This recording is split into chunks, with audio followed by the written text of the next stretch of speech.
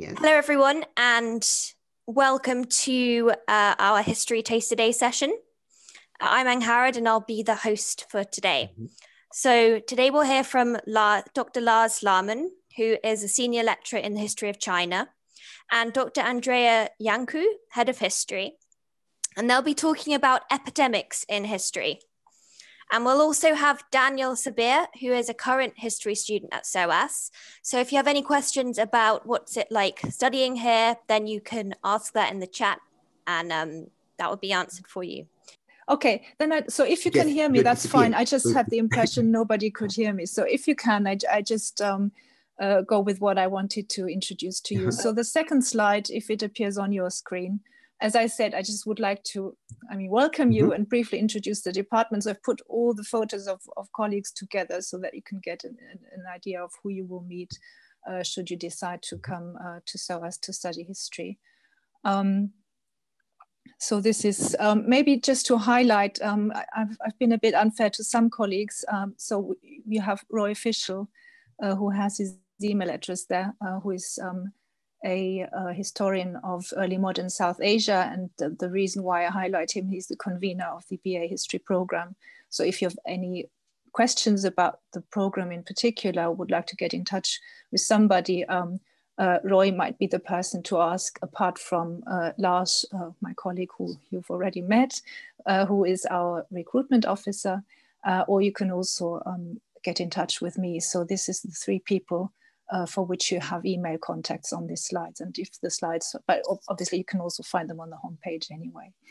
Um, I did ask um, on the second slide, where are you joining us from? I've already seen your answers in the chat, so maybe we can skip that one. Uh, so that I leave some, some time for Lars um, uh, later on. I'm really happy to see that you're coming from so many different places. That's absolutely fantastic. And I wanted to say two words about um, the kind of history that um, we teach and study at SOAS, because we've often had people say, why don't you do a pro program in, in global history? Because that's what you do. And our answer is that's not quite what we do. Uh, even though we're looking at many different places in the world that um, maybe um, a regular history program at other universities won't, won't, necessarily cover in that kind of detail. Um, so we are looking at all kinds of places across the globe, um, but not from a Western perspective, but, but uh, all the colleagues of uh, whom you saw photos in, um, at the beginning are studying particular regions outside of Europe um, and, um, and America and the, Western world. So the, the thing we are really proud of is, is that we do um, actually understand and, and study the, the, cultures and the languages um, of the places whose history we're looking at. Um, and uh, one, one of the key points of interest in, in a way, and uh, one of the, obviously the areas that's become increasingly important um, and, and relevant today is, is to look at, at global encounters from perspectives um, that are not Western and trying to, to understand um, how different cultures and people met each other. So, so it's, it's understanding the world from different perspectives really, and, and that you can, you can see that from some of the work um, that colleagues have produced. So the next slide is about um, is introducing a um, couple of books that have been published um, in the last couple of years uh, by colleagues in the department. Um, so it's obviously topics such as uh, slavery um, in um, the, the, Atlantic slave trade, um, colonial rule in Africa, but also looking at pre-colonial non-European countries, pre-colonial South Asia, uh, which is um, the area that uh, Roy Fischel is particularly interested in. Uh, or if you want to move further on about the Hindu family, the emergence of modern India um, in a more recent period, where, where you have all these um, uh, these tensions and ambiguities that um, emerge from those cultural um, encounters that I mentioned earlier. Um, so, so the point is to emphasize these different um, perspectives um, and try to understand a variety of different opinions and views about um, what, what is happening um, in the world um, and today even um, and how this came about uh, in the course of a longer history. the next slide gives you uh, so the next part of what I want to say just in a few minutes is to talk a bit about uh, the history program that we teach. Um, obviously, you have in the first year these kind of um, introductions to the discipline um, and historical approaches that you probably find um, in, in any history program. But, but some of the things that we've added to the program um, since about, I think, two years ago, that's when, when uh, my colleague Eleanor Newbigin started teaching uh, this module called Colonial Curricula, Empire and Education at SOAS and beyond. And I've highlighted this because in a way it kind of stands for what is um, different about SOAS um, and uh, what, what is a partic particular challenge, I think, for, for us in, um, as, as SOAS, as you might be aware, is, is an institution that emerged from, I mean, is, is part of the history of empire, very much so. And, and, and you can see that um, in uh, the coat of arms that, that you can still find in the school. Um, that um, I mean, knowledge is power, right? So this is really um, an institution that was meant to train people to uh, to work for, um, uh, for for for for Britain in its uh, imperial enterprise, basically. Uh, but on the other hand, you see that there were a lot of people who came from um, the colonized countries who were studying and um, and, and teaching at SOAS, and you have from from the beginning a very diverse um, uh, uh, group of people that, that come together and, and bring uh, views and opinions uh, to, to this debate that are quite different uh, from uh, a purely colonial perspective on, on what is happening in the world. Um, and, and, and this is um, obviously a debate that's um, very um, relevant today, is very active, very lively, and it is, it's very much pushed also by SOAS students um, in many different um, bodies at the school. And, and this is one of the reasons why we now have integrated uh, this module that looks at SOAS history, uh, the history of education generally throughout um, the last century mainly. Um, and is kind of, I think, a very good um, basis to engage in a critical study um, of the history uh, of, of the world and, the, and how it became the way it is today and maybe also encourage thinking about um, what we can do um, to to change it in ways that we think might might be might make it a better place. Um, so I've just kind of randomly added some other titles of, of modules that uh, will be running next year, uh, such as um, South African apartheid, um, nationalism, identity in South Asia, political Islam, is, is just a, to give you some, some kind of idea um, of what we are doing and what we hope um, will be attractive for you. Um, we're also trying to uh, go a bit be beyond the, um, the, the, narrow confines, I guess, of, of, of the teaching curriculum um, and started before the disaster with the pandemic started last, the year before last, uh, to, um, to launch a project called um, which was meant as, as the beginning of a series of projects that then got interrupted, unfortunately, by, by the pandemic. But we hope to be able to pick up on this next year. Uh, decolonizing history, where we invite, invited um, uh, young playwrights uh, from very diverse backgrounds to, to join us, to join our classes and seminars, and um, in, engage with students and in that dialogue develop um, audio plays about um, the, the, histories that we study at SOAS and the way we study history at SOAS, so these two perspectives. And uh, the result of that was uh, five um, short audio plays um, uh, that we then, um, where we had kind of uh, gathered listen, listenings. it's um, kind of a new invention of a public event by the artistic director of the uh, theatre company that cooperated with us in, in this project. Um, so we, we try to um, kind of um, add more of these kinds of elements where we engage with um, communities beyond the university to, um, to bring the history that we study to, to other audiences um, and, and to show uh, why it's important to do so.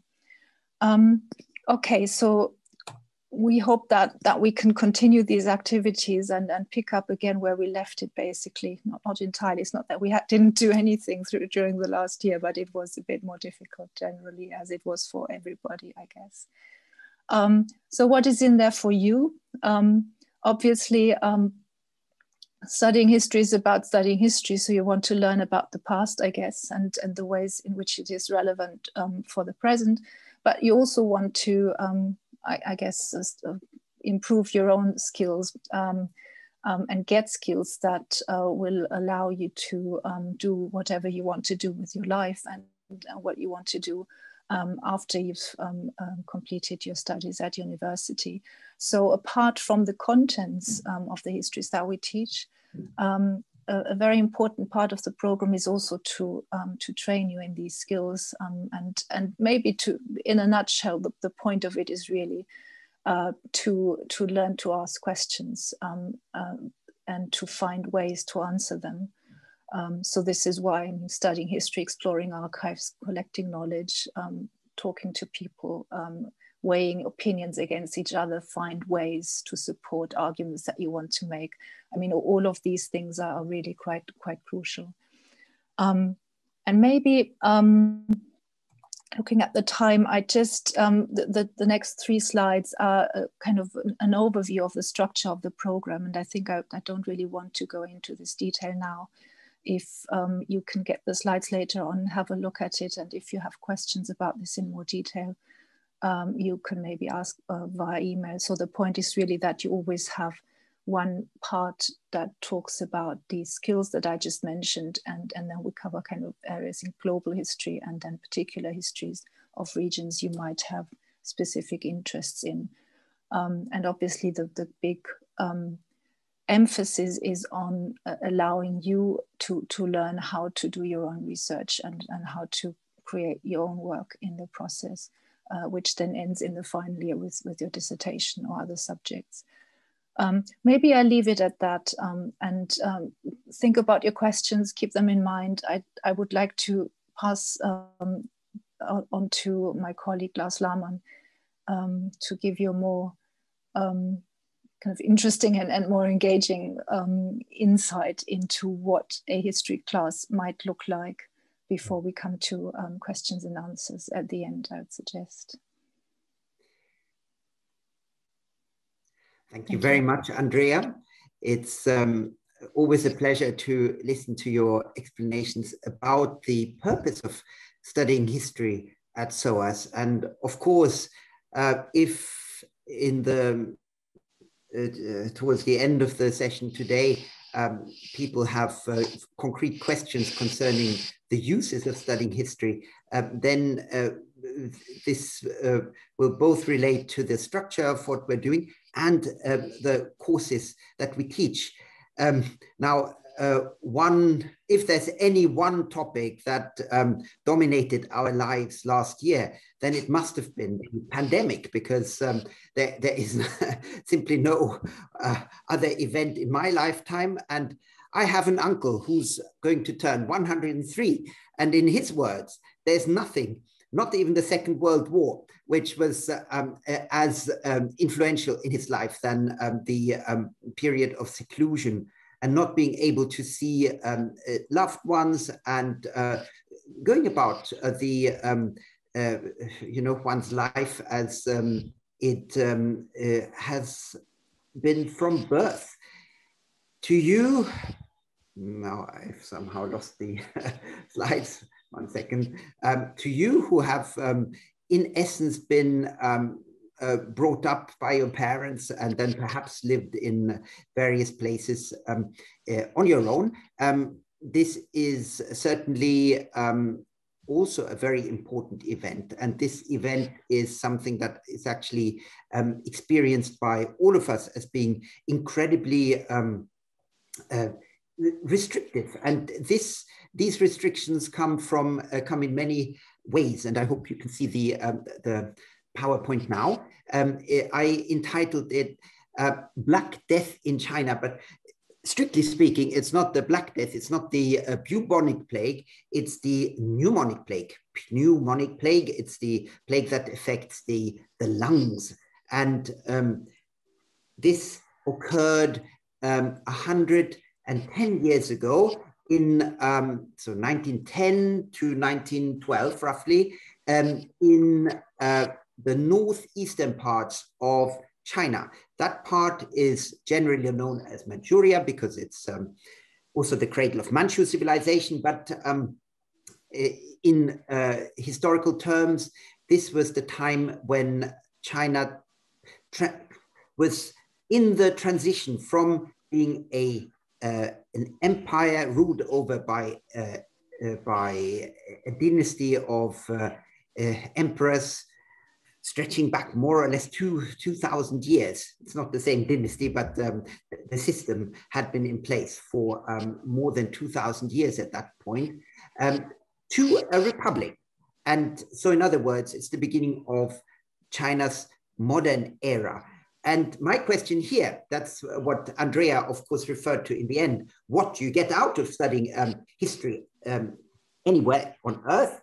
Anybody's history, and then also the history of specific places such as China, because you do so because you can follow uh, patterns in the developments, in the historical developments, but then also how people react, and especially um, how societies react. Um, and yeah, I'm going to start not with people, but with a, um, a little um, animal, uh, which was uh, which looks very cute.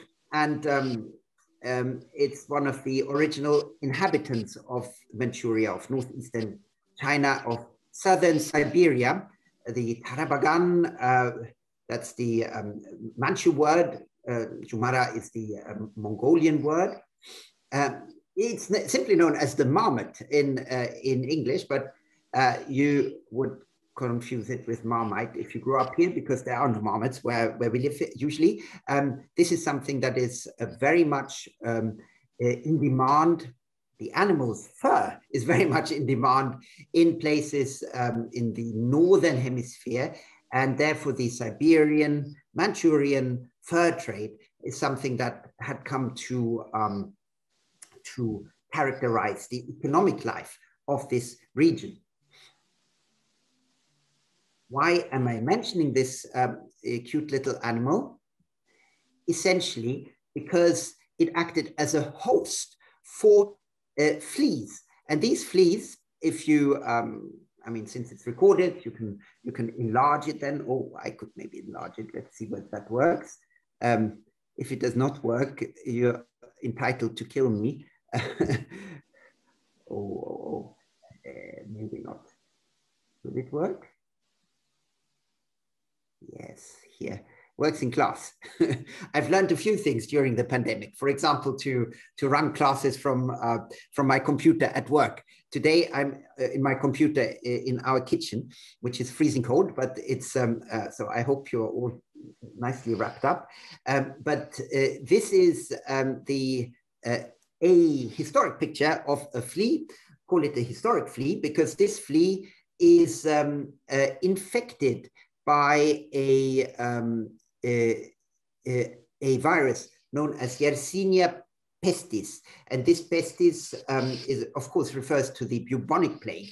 Um, but in this case, the plague was the pneumonic plague, so it was the lung plague. And the gentleman who you can see here um, investigating um, the um, marmots uh, which they had caught are in essence, um,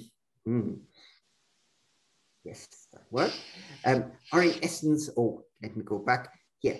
Uh, in the top, you can see a, a modern uh, flea, a more modern flea in uh, color, and everything that is black in the center is essentially uh, the virus. And if you have a, um, a, a, flea that is infected in the same way, then they can transmit diseases. And in this case, it is the uh, a type, a subtype of the plague.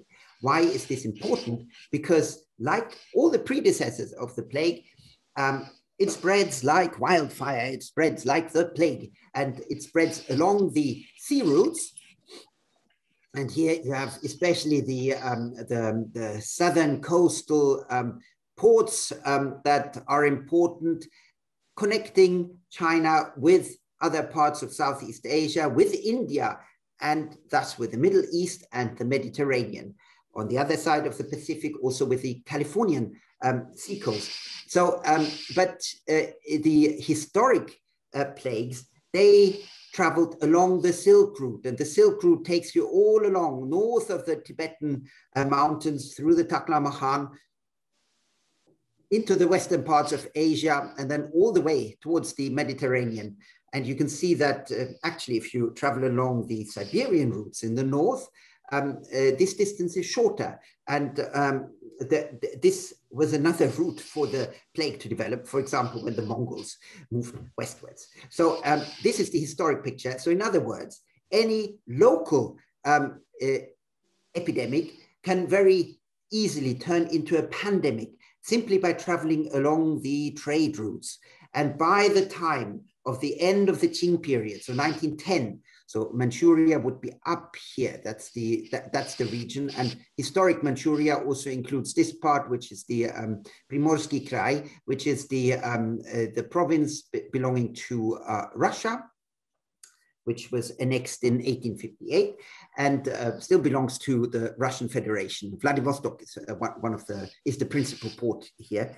Um, so uh, in this region, you have a, um, a, a high concentration of traders who interact with the rest of the world. And um, if you have a, um, a, a, plague that uh, originates here, um, the, it can very easily spread into Korea, to Japan, but then also along the trade routes into Central Asia and uh, into Russia and further on.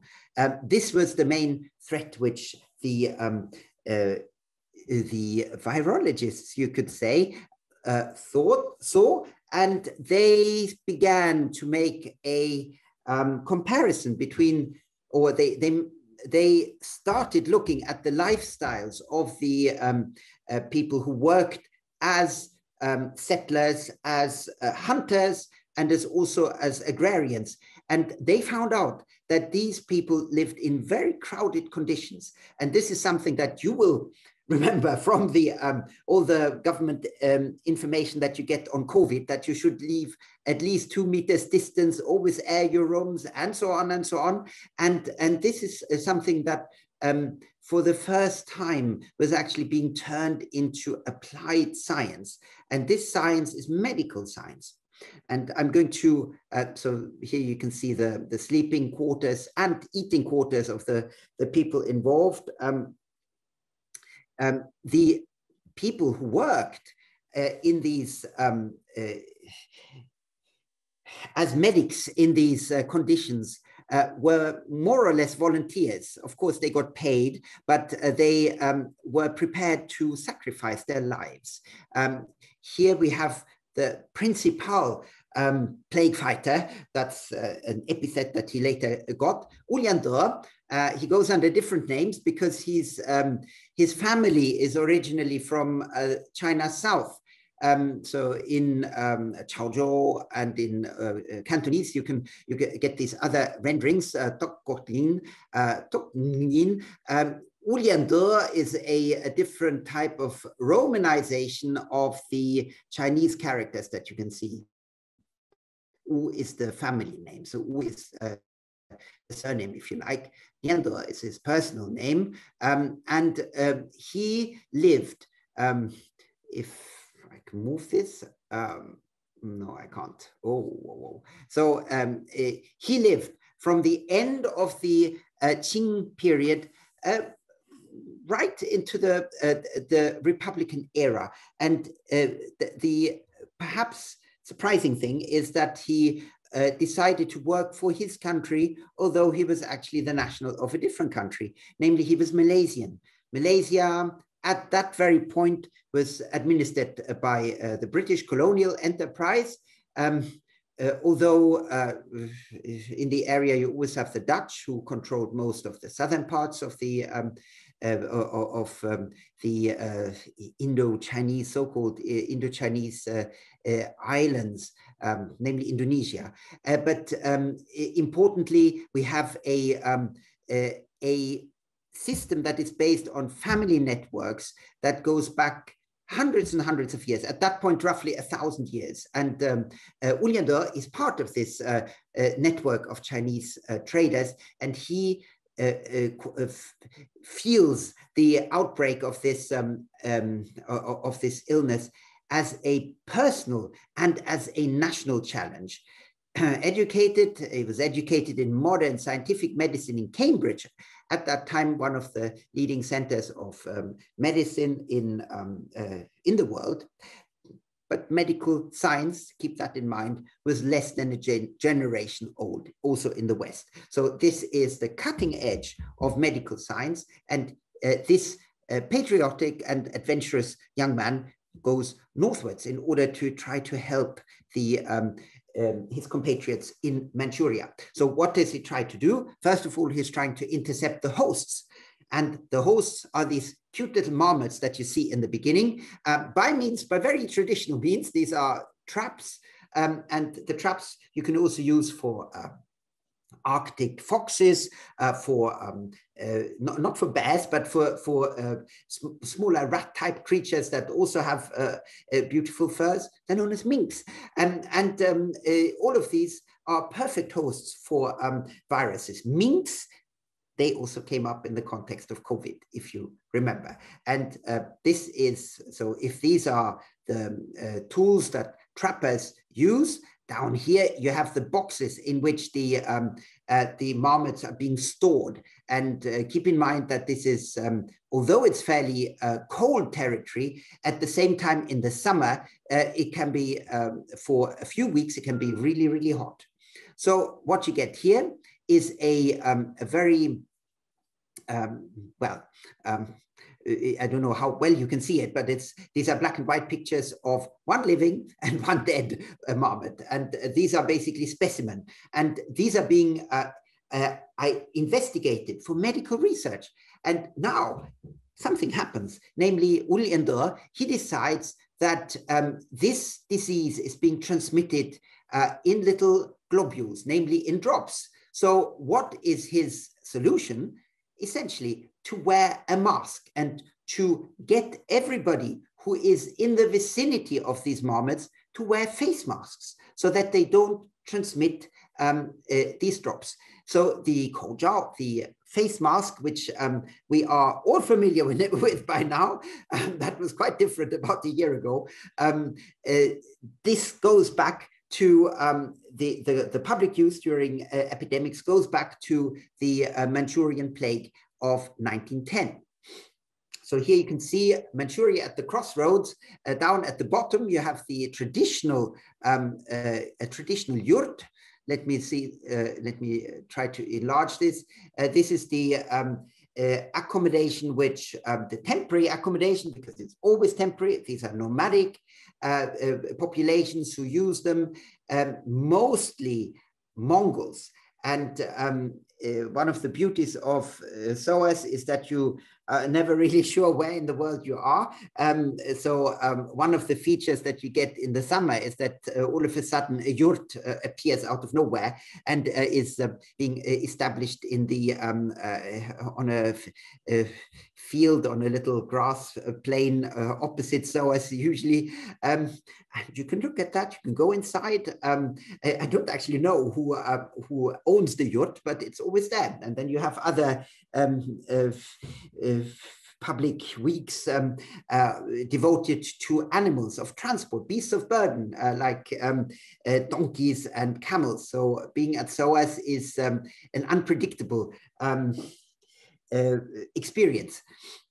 Up here, you have the bearers of modernity, namely modern science. These are the scientists who come as part of an expedition. This time it's a Russian expedition. And the, these Russian scientists, so you can see there, they arrived on the Trans-Siberian Railway, on the Trans-Manchurian uh, extension. In other words, these are very much uh, at the forefront of the um, uh, investigation into the diseases. 1911, July. So this is in the dying days of the uh, of the Qing uh, Empire. Uh, if you study politics, uh, of course, um, it's a little reminder that the uh, that we're in the age of imperialism, and that at no point in time people were safe from uh, in China. People were safe from the grasp of France, um, Britain, the Netherlands. Um, um, Russia, um, because there was always um, the idea that they could extend their empires by carving out small pieces of China.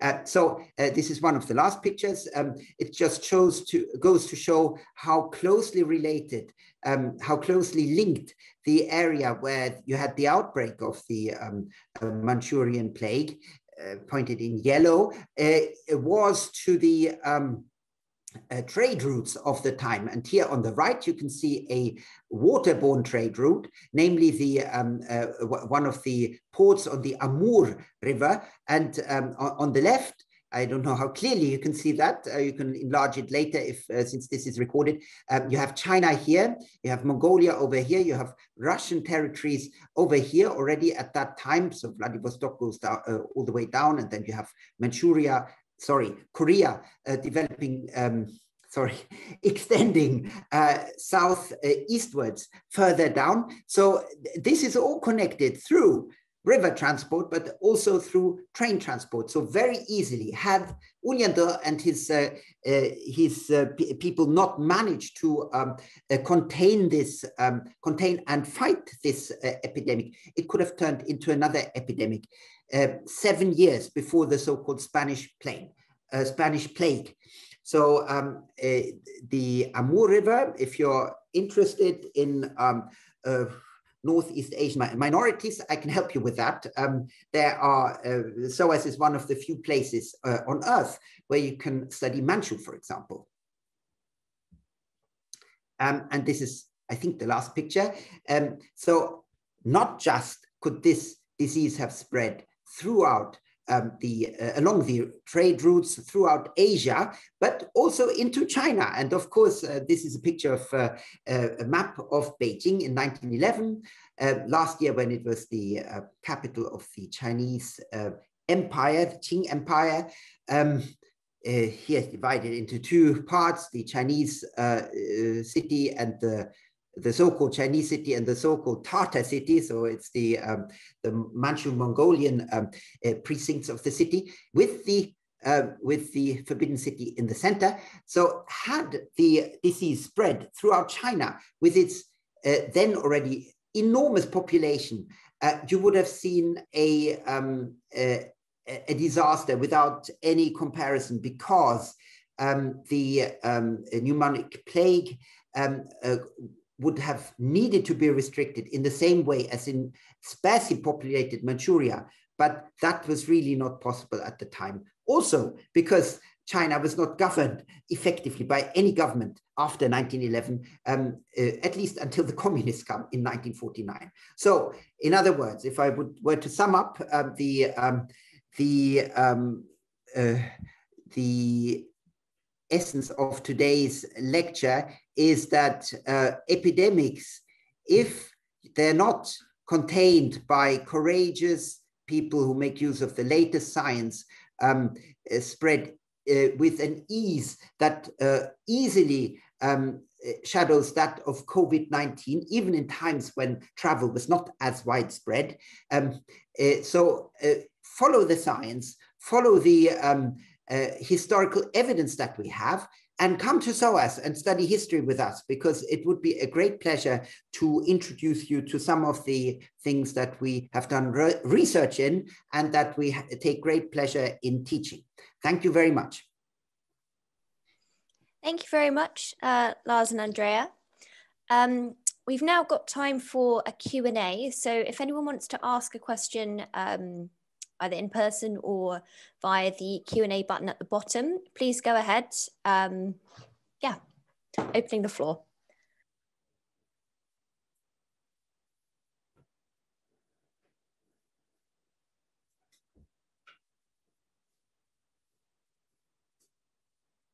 Oh, uh, Andrea, okay, thank you. That's the, in normal times, it's one of the obvious places. Yes, that's right. So um, let me just see.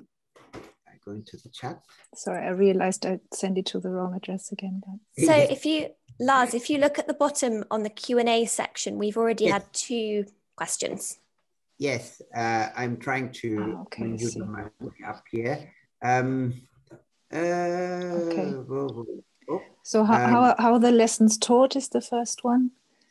Um, mm-hmm. Seminars or tutorials, that's a, really great question because at the moment there are people um, thinking about how the current experience with online teaching might have an impact on how university teaching will be done in the future. But the, the standard format is probably is, is actually not not a straightforward answer because in the core module for the first year for example this is entirely small group seminar teaching in groups um, of around 15 to um, 20 students at most um, but most other modules would normally be taught in a one hour lecture plus smaller tutorial groups of, of that, that where you have another hour to, to discuss the material that was covered.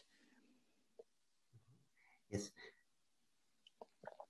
Um, Lars, would you want to move on? I, I don't want to monopolize. yes. Amradat, I, I can see that you're referring to a comment, but I can't see it. Could you just read out the comment that you that, that, that Oh, I see. Okay. Yes. I, I okay. The, se the second question, if I if I see that correctly, is how does historic knowledge positively impact society? And I think that's a fantastic question, really and it's exactly um, one of the things that that that we're working on in terms of how i mean this is why i say we, we try to uh, connect to communities outside the university and try to bring other groups into the university to have this this to, this conversation going really and i mean at the moment the thing that is most at the heart of this is is probably i mean this this year was um, tremendous in that respect. Obviously, you had the Black Lives Matter movement. Uh, that's that's very much at the core of what many of our colleagues are doing. Uh, so it's it's a big question that is very hard to give a very brief answer to, but it's it's it's one of the things that is at the core of the interest of I think SOAS, as an institution really, and and history as part of that. Mm-hmm. Yes, um, and oh, yeah, yes. So it, I I just want to. Um, uh, uh, just reiterate what Andrea said right now. I mean, we are, we uh, we live for that. You know, this is um, um, uh, our. It's not just a job. Um, th this is actually our mission, if you like. Um, um, we, we whenever there is a new event, whenever there's a new movement, whenever you have uh, historic um, changes that take place, we, we try to um, uh, bring uh, the the, the context closer to, to our students and not just our students. I mean, one thing that we, we should actually, um, I mean, that became clear when um, Andrea put the, um, the titles of the books that um, our colleagues published here. Um, one thing that became clear is that our teaching actually is directly um, uh, derived from our research. So uh, what we do day and night and uh, in uh, uh, in in places uh, that, that, are far away from SOAS and in our own archives. Um, we, what we come up with there is actually what we teach and um, in uh, sometimes indirectly, sometimes extremely directly, just straight out of our research. So this is um, uh, one way of connecting with um, history, if you like. So where, where life and history interconnect.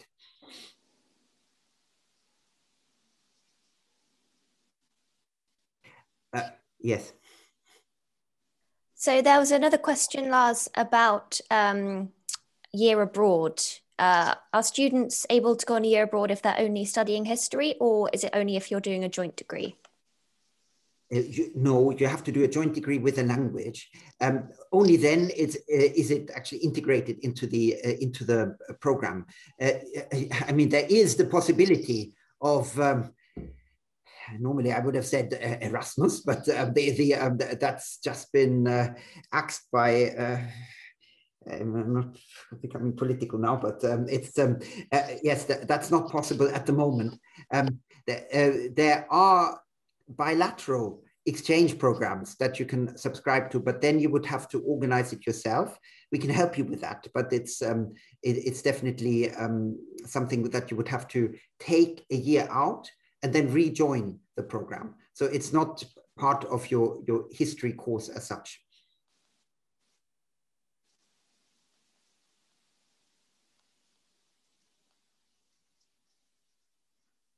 And this will probably have to be our final question because we need to wrap up um, fairly soon so the next session can get going.